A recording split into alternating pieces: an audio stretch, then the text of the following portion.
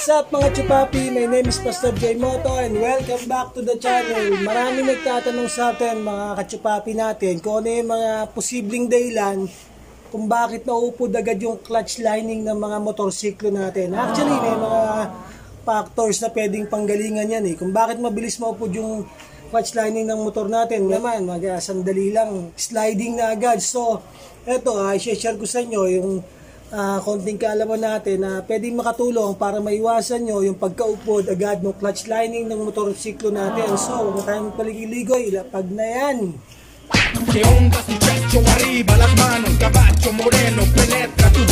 Yung isa sa mga dahilan kung bakit mabilis maupod yung clutch lining natin or mag-sliding clutch na tinatawag. Minsan kahit bago pa yung motor, ilang ilang libong kilometro pa lang yung tinatakbo, and pinagpapalit na tayo ng lining dahil slide na yung clutch lining ng motor natin. May mga dahilan po yan mga chupapi kung bakit mabilis may slide yung clutch lining natin. Itong motor na model natin ngayon ay kay Chupapi. Lord. Lord! Chicken cubes!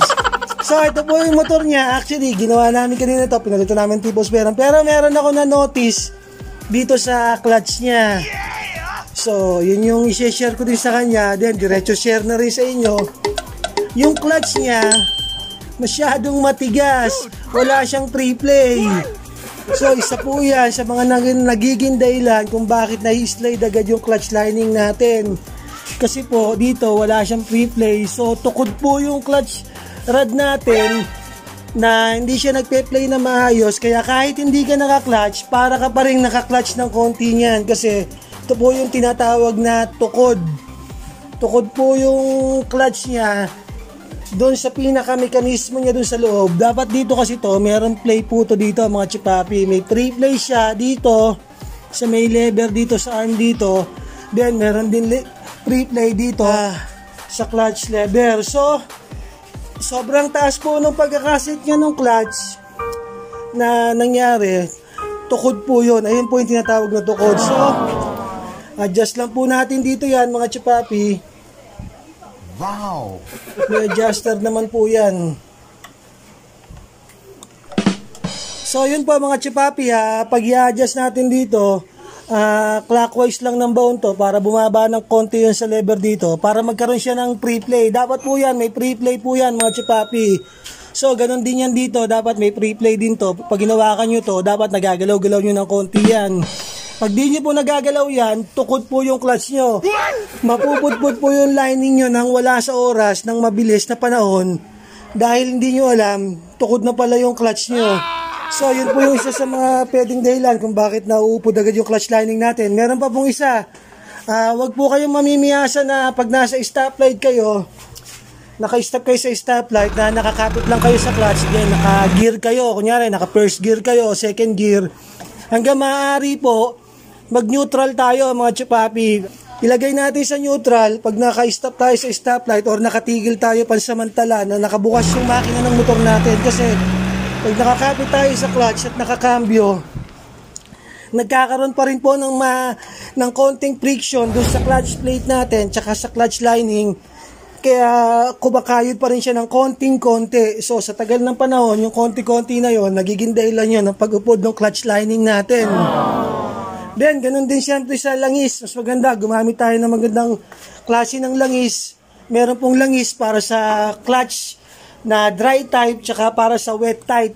Uh, yung pang mga wet type, yung po yung sa mga dito, sa katulad ng motor natin, na yung clutch lining natin, babad sa langis. Doon sa mga dry type naman na langis, yun po yung para sa mga scooter po, na yung clutch system nila nandito sa gilid, na hindi po siya babad ng langis yung clutch system niya.